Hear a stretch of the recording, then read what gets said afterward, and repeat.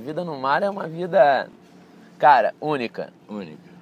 Você, para começar, a interação que você aprende sobre você mesmo, o que você aprende sobre a natureza, quando vem vento, quando não vem, os animais te indicam.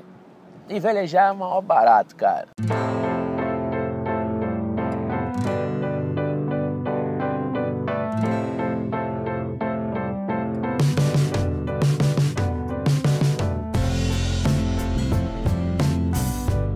Essa nossa história. É pai e filho, assim, por coincidência da vida, porque nós somos, na verdade, dois grandes amigos pra caralho, cara.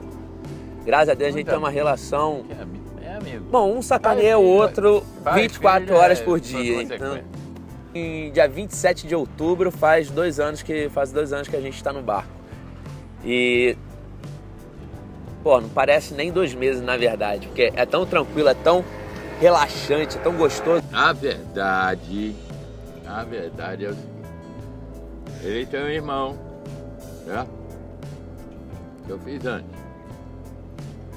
Aí, quando a mãe dele estava grávida, meu sonho é que fosse uma menina, porque eu já tinha um filho. Então eu queria uma filha. Aí ela me ligou. Eu estava em Macaé trabalhando, dentro da picape.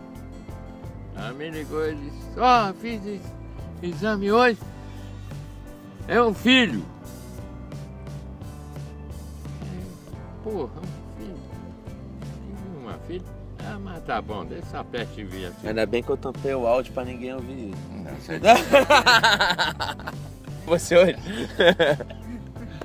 Enfim, eu só queria que fosse parecido comigo, assim. Tive essa cabeça parecida com a minha.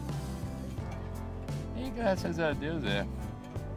Não sei se isso é Sou um santo, quer não, dizer isso que eu sou um santo. mas é. Crescendo, sempre com relacionamento, Uhum. sempre junto. Sempre conversando eu fui. abertamente, francamente. É. Um dia eu fui morar no Sana e anos depois ele foi morar comigo. E aí não desgarrou mais. tá me enchendo o saco até hoje. Não é? Você quer? Quer que eu vá? Quer- Quer ir? Não vá você, deixa que eu fico aqui. É ruim. Ui!